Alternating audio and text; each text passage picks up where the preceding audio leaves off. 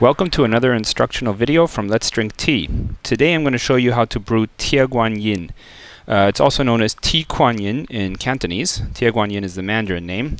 And the literal translation is Iron Goddess of Mercy. Uh, so it's often called Iron Goddess Tea in English. It's a Chinese oolong tea. Um, it's probably the most popular Chinese oolong tea. Uh, it's, you know, when you go to any store in China, any supermarket, grocery store, you see more of this tea than any other brand uh, except for Dragonwell, I would say. Um, personally, it's my least favorite oolong. It's uh, very close to a green tea, uh, but doesn't taste quite as good as those. Still, it's a pretty good tea. Um, to brew it today, I'm going to use a tea press. Uh, uh, you'll probably see a lot of people use a Gaiwan or a Yixing. Those work fine too. Um, but I'm going to use a tea press now. And as always, you want to warm up everything you use, both your teapot or your Gaiwan or your tea press, uh, by just putting some hot water in it and swirling it around. Push it through. Do the same with this.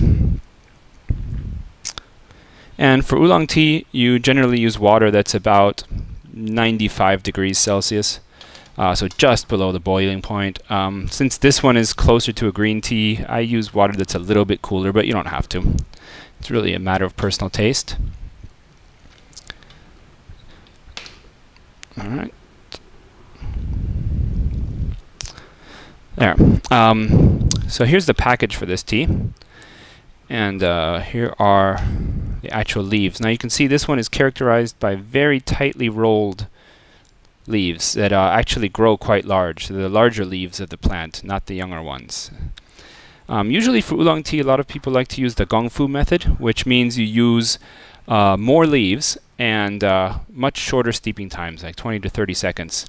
And that does work well for most oolong teas, but for this one I prefer to use uh, a longer steeping time, and because of that, fewer leaves. And the reason is because they're so tightly rolled, I like to give them uh, a chance to really unfurl fully. If you use a short steeping time, they don't.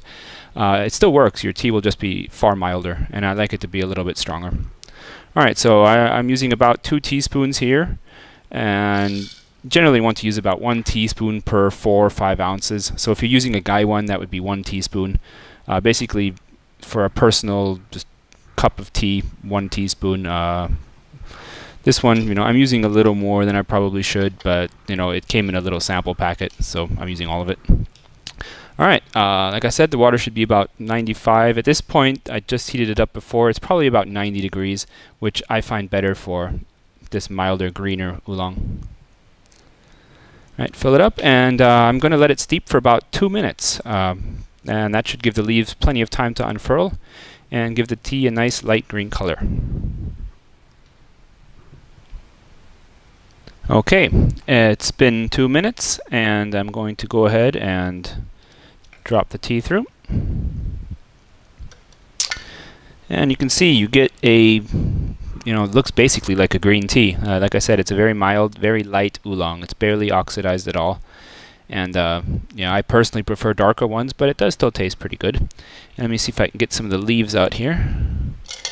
Um, they have begun to unfurl, but they haven't unfurled completely, and that's fine. That's actually what you want, because they'll continue to unfurl uh, with, with future steepings. Uh, you can usually get three to six good steepings out of uh, Tie Guan Yin leaves. It kind of depends on the quality. I have some cheaper ones too that uh, unfurl much bigger and, and faster, and you only get about three or so steepings out of it. Out of these, I'll probably get the full six. Um, you can see that some of them are barely unfurled at all. All right, that's it. Thank you for watching, and uh, you can get more information on Tie Guan Yin or any other teas on the Let's Drink Tea.com website.